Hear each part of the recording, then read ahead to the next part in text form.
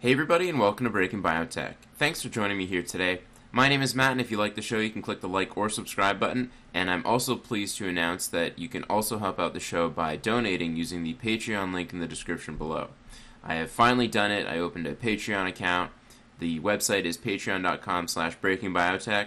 So I'm going to get rid of that tip jar link and put that instead. And I'm also pleased to announce that what comes with this, along with all sorts of different tiers, includes a Discord channel. So for just $3 a month, you can join the Discord. It's pretty early, I'm not going to lie. There's about uh, 15 or so of us right now. But I'm hoping to grow this to be a nice little community of people where we can bat ideas around biotech stocks and stuff like that. So check that out. It's uh, it's pretty cool. And then other stuff that I'm gonna do are things like shoutouts with that with larger tier donations. And and one person that made a very generous donation, I'm not gonna use their name, I don't think they, they wanted that, but I am gonna plug their blog. So if you're interested in psychophysiological processing, check out this person's blog at firststepoutofdarkness.wordpress.com. That's firststepoutofdarkness.wordpress.com. And I want to thank them greatly for the donation. I want to thank everybody who jumped on this immediately. I uh, it's been like a week or so, and already I'm very impressed and pleased with how many people have jumped in. So I uh, I do thank you all very much for that, and I appreciate all the subscribers too. So we're at 970 right now. So if you guys want to share the show with some people and push me over a thousand, that would be a huge milestone. So so that's the latest. What's going on? And for today's show, I wanted to touch on a few different companies. We're going to start with Exact Sciences and the updates they shared in the last couple weeks.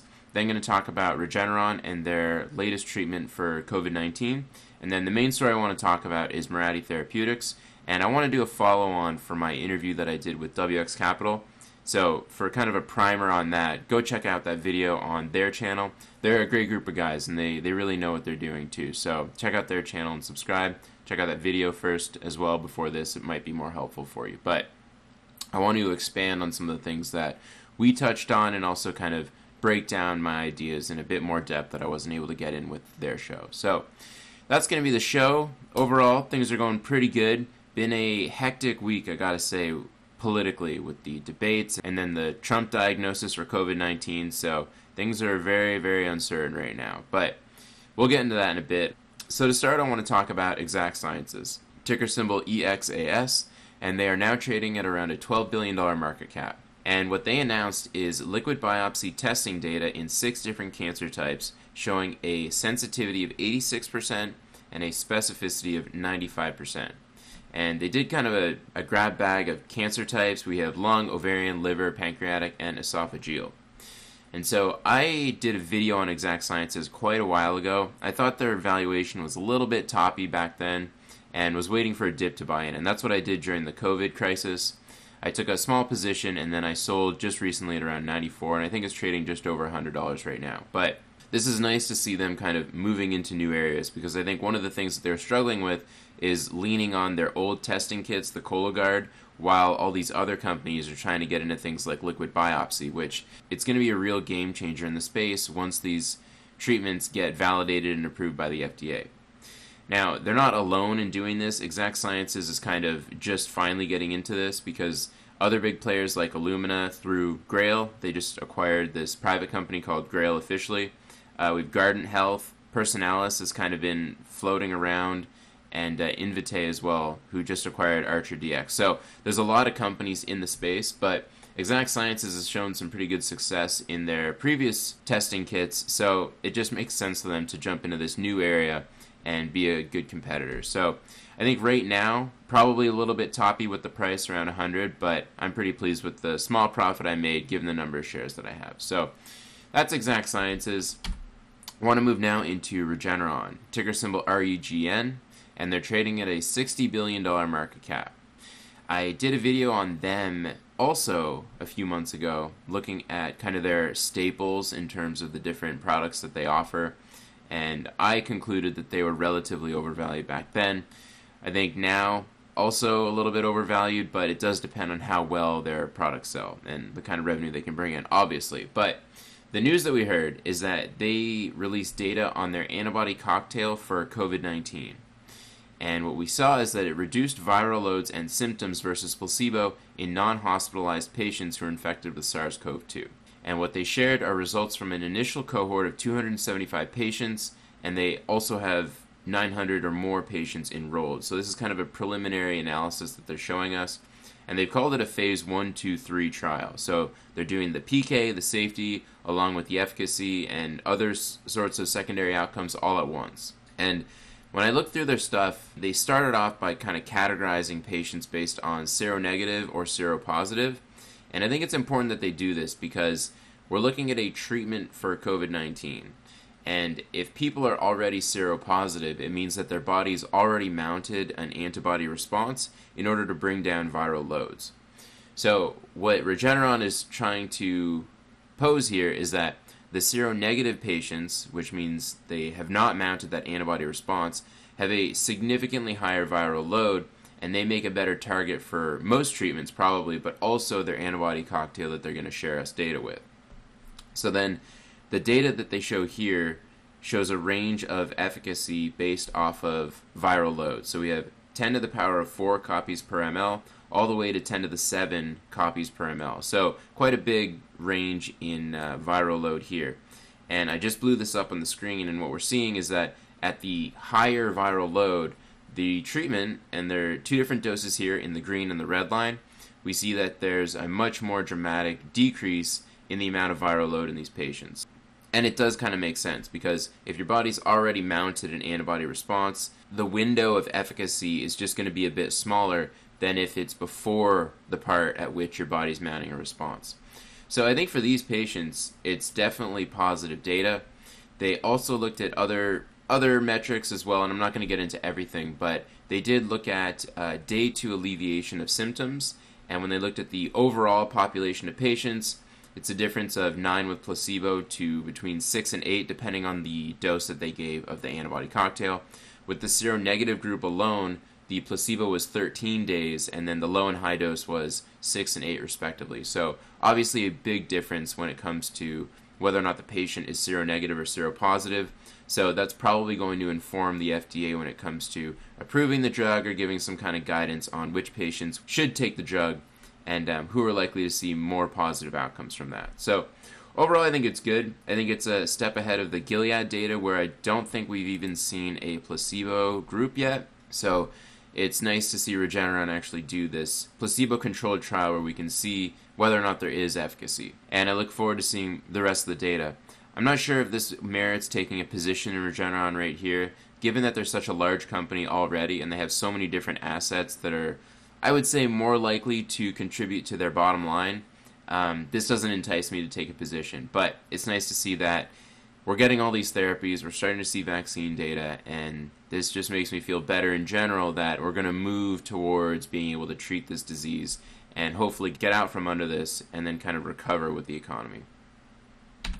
With that, let's talk about the main story for today, and that is Mirati Therapeutics, ticker symbol MRTX and they're trading at a price of 162.05 per share, giving them a market cap of 7.2 billion dollars. Their Q2 2020 net loss was $83 million, and this represents an 80% increase year over year. Their Q2 net current cash is $600 million, giving them a runway of about until 2022, I would say.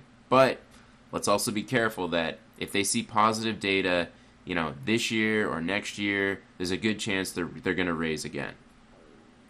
And what Mirati is trying to do is develop targeted cancer treatments. And they're specifically looking at solid tumors, and even more specific than that are KRAS inhibitors. And so they have two compounds, MRTX 849 and MRTX 1133. They're also looking at checkpoint inhibitor resistance with their compound sitravatinib, and I'll talk about that in a bit later.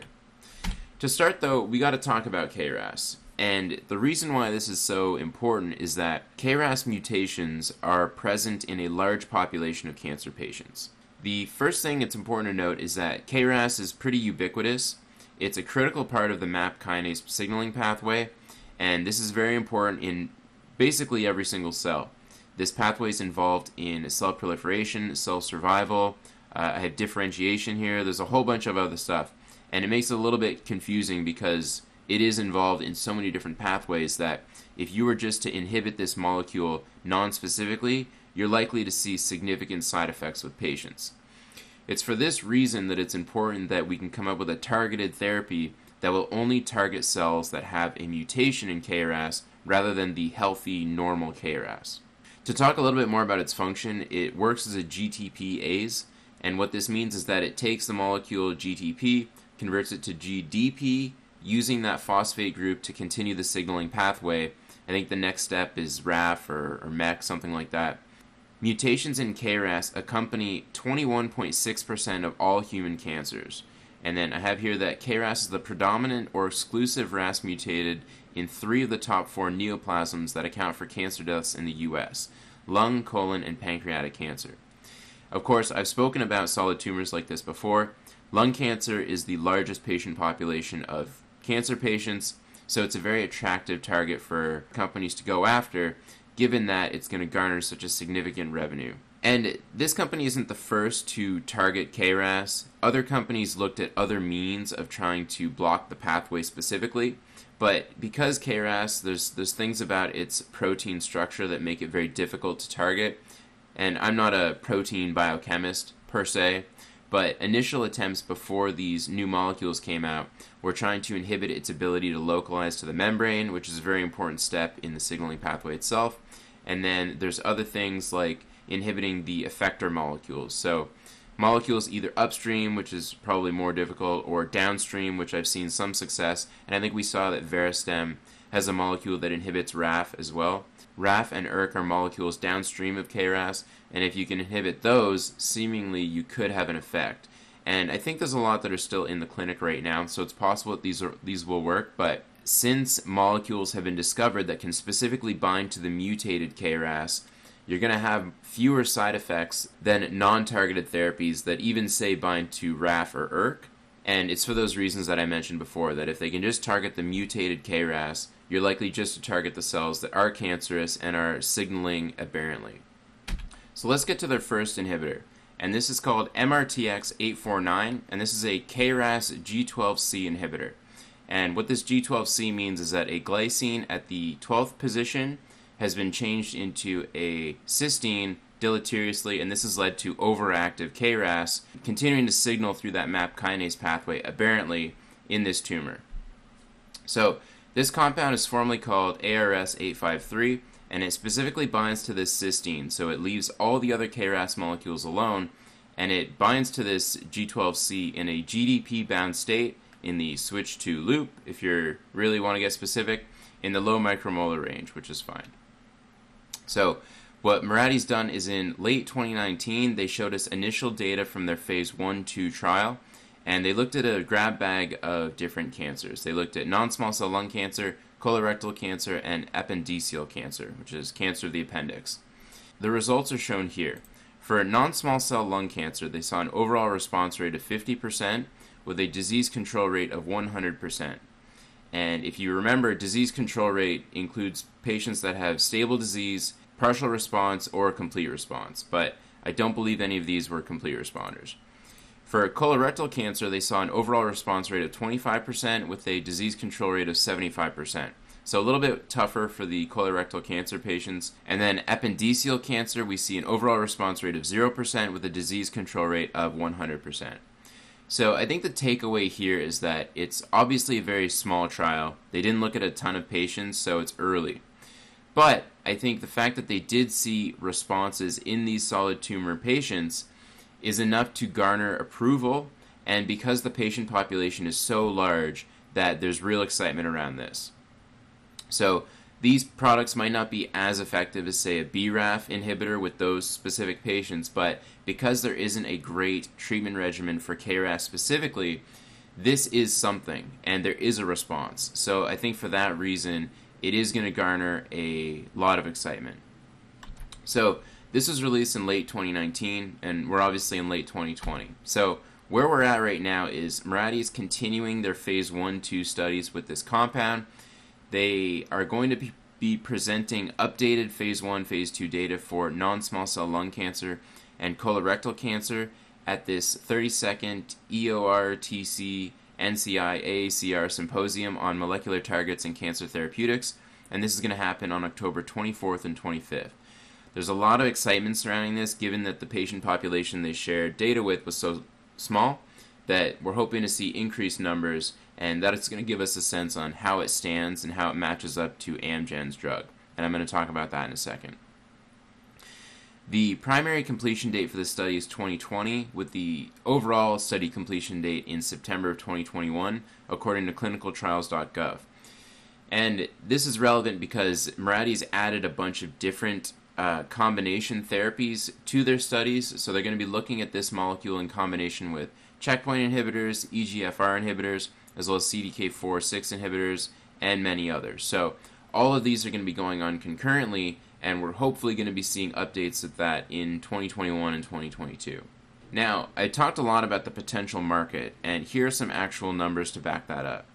So, the patient population that have a KRAS G12C mutation the sum of the patients in the US with non small cell lung cancer, colorectal cancer, and pancreatic is around 70,000 patients.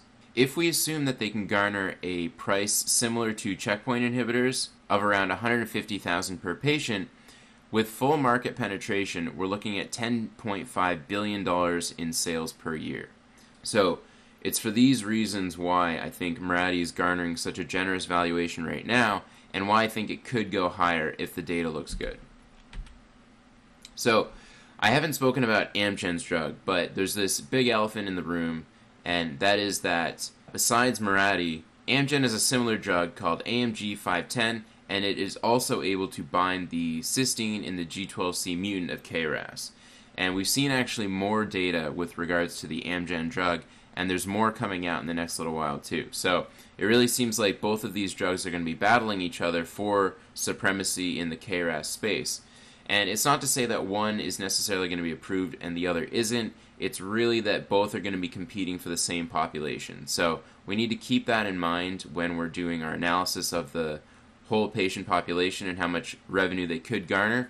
Is that both of these drugs are likely going to be approved relatively close to one another. And obviously, we're very early, so it's tough to really say. But um, when it comes to the data, I'm going to share the AMG 510 data with you, and then we can kind of talk about it. But they looked at colorectal cancer, 39 patients. The disease control rate was 79%, with an overall response rate of 8%. For non small cell lung cancer, they had a disease control rate of 100% and an overall response rate of 54%, which is very similar to Mirati's drug. Now, we're still looking at fewer than 40 patients here. Colorectal cancer, only 39, and non small cell lung cancer was only 13. So, larger patient population than Mirati, data is relatively similar. The data is probably a little bit worse for colorectal cancer, but because Mirati's drug is only looked at four patients in this indication, you know, it's tough for us to really say right now whether or not Mirati's drug, once they increase the patient population, is going to show similar data. And one thing that I think was touched on in my WX Capital video is that as Amgen continued to expand the patients with their studies, the data began to look worse and worse. And so there is a chance that this could happen with Mirati, and that, you know, people could start to think that it's not going to be any better than Amgen's drug. So there could be a little bit of hype surrounding that right now, and this could evaporate with the update. In terms of next steps for Amgen, they have phase 2 data that's supposed to be released in the second half of 2020, and this is non small cell lung cancer and they've already initiated a phase 3 trial. With colorectal cancer, they're doing they have phase 2 data to be released in H1 of 2021, and then non-small cell lung cancer, non-colorectal cancer, solid tumors, they're enrolling in a phase 1B. So, something else to keep in mind is that Amgen is a huge company and they have the resources to really develop their clinical program probably faster than Mirati can. And this doesn't mean that Mirati couldn't find a partner to help with their larger trials, but Amgen is going to be powering ahead, and they're going to be a very powerful competitor against Mirati in the clinical stage as well as the commercialization stage, since they're going to have the sales and the marketing resources that Mirati just doesn't have. So that's the G12C right now, and I want to shift gears a little bit to Mirati's other products. The other thing they're looking at is a G12D inhibitor. So rather than the glycine turning into a cysteine, it's turned into an aspartic acid and they have a molecule that they've shown preclinically to inhibit this KRAS molecule. Unfortunately, this is a very early drug, so they're about to file the IND not the NDA that I have written here. I'm Just going to change that real quick. Uh, that's to be filed in H1 of 2021. And there's a lot of excitement around here because the patient population is even bigger than the G12C patient population. So we're looking at 180,000 patients amongst all of the different cancers that contain this mutation. So that's going to be exciting. We're probably not going to see data until late 2021 or probably 2022. But if they are able to see kind of similar data that they saw in the G12C, you can imagine there's going to be a real increase in the stock from that. The last product that they're looking at is a multi-kinase inhibitor, and this is, compound is called sitravatinib. It inhibits three different kinases, Tyro3, AXL, MER, as well as VEGF-R2 receptor 2 and the KIT receptors. So this compound is going to be used in combination with a checkpoint inhibitor for patients that are refractory for checkpoint inhibitors. So the studies that they're doing is sitravatinib plus nivolumab, which I believe is Opdivo, and they've been able to garner some positive results so far. So I'm showing here on the right that they were able to see an overall survival of 18.1 months and 15.6 months, depending on the subset of patients. And they've shown here in the chart comparing to some of the previous data that has been seen in checkpoint inhibitors, where the average is maybe around nine months of survival. So where they're at right now is looking at non small cell lung cancer, and they're expecting phase three interim analysis at the end of 2021. So this is going to take a long time for us to see data on, which is unfortunate. But it could be a registrational trial, and they're expecting final data in 2022. Now, when it comes to the patient population here, we're looking at around 100,000 patients in second line in both USA and Europe. They're also doing other indications like bladder cancer as well as RCC, and those are phase two studies, and we're expecting data to be released probably in 2021. Now, this molecule does have potential, but the fact that the catalyst isn't going to be until the end of 2021, we're unlikely to really realize a lot of that in the stock price today. So, given all of this, I want to talk about the potential market opportunity. So, like I mentioned with the G12C molecule, 70,000 patients in the USA, at the checkpoint inhibitor price of 150,000, we're looking at 10.5 billion dollars. For G12D, because the patient population is so much larger, we're looking at a total max potential market opportunity of 27 billion dollars. Sitravatinib, I'm pricing it at 50% of the CPI price because I'm assuming that this is going to be used probably in second line or further out than checkpoint inhibitors, which are first line. So if we give it a 50% off the CPI price with a 100,000 patient population, it's around $7.5 billion. So if we add all of that together, and this is all just hypothetical, all just um, rough modeling, I would say, the total max potential yearly revenue for this company would be $45 billion. Now they're going to be battling against Amgen for this revenue. So if we just say a you know, a very conservative estimate is that Amgen's going to take half of this patient population. We're looking at a max potential revenue of $22.5 billion.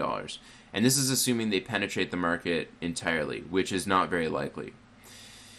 And the other thing is that it's very early for these assets. Like I mentioned, the only data that we're really seeing in G12C is a small phase 1 2 study, and we're likely going to see the follow on data coming up at the end of October we're going to start to approach these potential max yearly revenues. So I think for the data that we see at the end of October, we could garner probably closer to a 12 to 15 billion dollar market cap compared to the 7 where they're at today if the data is positive or comparable to Amgen. If the data flops, there's obviously significant downside. The stock is pricing the sitravatinib data, which they've seen so far is pretty good, and there's probably some pricing in of the G12D data, given that they have some good preliminary stuff going on. But obviously, those are heavily discounted right now, since most of the excitement is around G12C. So the play that I'm making is I took a small position uh, on Friday, and I might add on dips, and then I'm going to assess after the data is released at the end of October. But like I mentioned, I'm going to be targeting, say, 12 to 15 billion market cap after the data if it's positive, and if it's negative, I'm going to reassess and kind of go from there. The other thing I wanted to mention is that the stock skyrocketed on the Immunomedics acquisition news, and this obviously is people excited because it makes you think about whether or not Mirati could be a target of M&A. And I think it's possible. It's tough to bank exclusively on an M&A target, to be honest, but the increase in the stock went from like 133 to 160 something, so there's obviously some hype associated with that. Overall, I think it's a pretty exciting company, and it's nice to see that they're going to have some competition with Amgen. Obviously, I'd be rooting for Mirati over Amgen, given that they're such an underdog uh, when it comes to resources and things like that. But it's exciting that we've seen some molecules come out that can target this KRAS mutation, since it's been a relatively underserved patient population. And that's what I got from Mirati. So, moving on for the next couple weeks, there's obviously been some crazy stuff going on. So, we heard that Trump was diagnosed with um, SARS CoV 2 positivity. He has COVID 19, so we're going to be looking for a recovery for him, hopefully. And the reason why I say hopefully is because a Biden victory would be a immediate decrease in the stock market. And I think that's because he's been pretty vocal about cutting the Trump tax cuts, which was a decrease in the corporate tax rate. So, immediately taking that income from companies is going to lead to a decrease in profits and downward pressure on the stock market. So, I think for those of us wanting an increase in the stock market, we want Trump to get reelected. Setting aside all the other policies, I don't want to get into that on this show, but that's kind of where we're at. So we'll see how things go. The other things that we should be looking forward to is another stimulus package. So this has been in discussion for what seems like months right now, and this is a stimulus package to help out people who are suffering with the fallout from COVID 19 and the House and the Senate have been in discussions for quite a while, and it seems like there's been some progress lately. But then we've seen that some senators have tested positive for COVID 19, and this makes me think that they're going to have a difficult time voting in person. So, whether that shakes out in a positive or negative way, it remains to be seen. But I think that this could add a delay to approval of the stimulus package, and without the stimulus, I think it's going to be tough for the market to see higher highs at, at this stage. So those are the kind of things that I'm going to be looking for.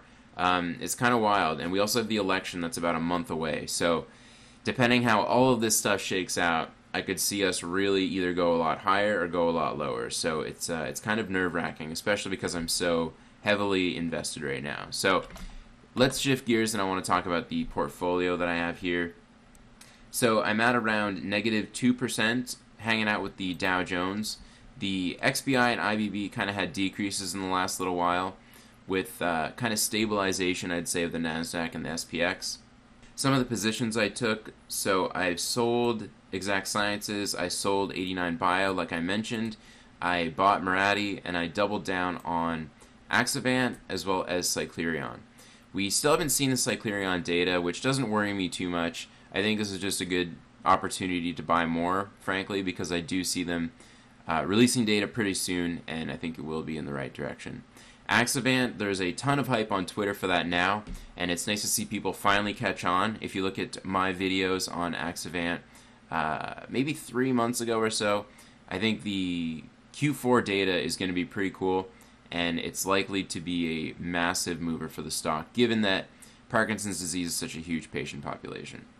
So overall, my gross exposure, like I mentioned, is 93%, which is pretty high given that we're going to be in tumultuous times. But a lot of the positions I have, I just feel pretty good about going into 2021. So even if there is a dip, I might use that last 7% to add on companies I like and kind of take it from there. And that's pretty much it. So I want to thank everybody for watching. I appreciate all the support. Uh, click the like or subscribe button on YouTube. Let's get over 1,000 subscribers. That would be awesome. If you want to help out the show, you can check out my Patreon at patreon.com slash breakingbiotech. There'll be a link in the description below. And join the Discord. It's uh, it's been fun. Definitely still early, but I think it's going to grow in a nice way, and we're going to start to get a real community going there. So with that, I'm going to end it here. But thanks again, everybody, and we'll see you next time.